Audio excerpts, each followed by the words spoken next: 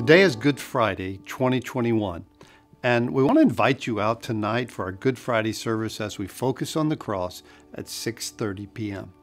You know, if you weren't a Christian, you'd go, "Why in the world do they call it Good Friday?" Because listen to what it says on that Friday from Matthew chapter 27. The soldiers took Jesus into the praetorium, and they gathered the whole garrison around him. And they stripped him and put a scarlet robe on him. And when they twisted a crown of thorns and put it on his head and a reed in his right hand, they bowed the knee. And before him they mocked him, saying, Hail, King of the Jews. And then they spat upon him, took a reed and struck him on the head.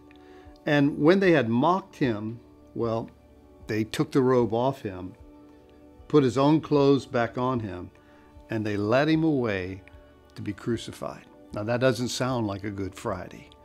But if you continue with the story, and if you come to a place in your life where you bow your knee to the true King of Kings, well, the story is amazingly good. And let me read another section of Scripture which makes it the best ever. After this, Jesus, knowing that all things were now accomplished, that Scripture might be fulfilled, he's on the cross. It's Good Friday.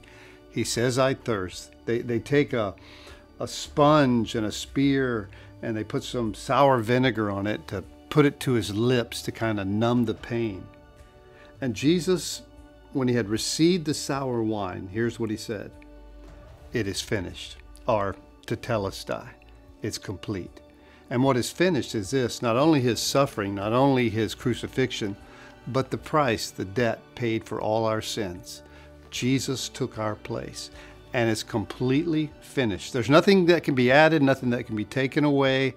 The reason it's Good Friday is because our salvation is completely finished by what Jesus did on the cross. That makes it amazingly good. It is finished.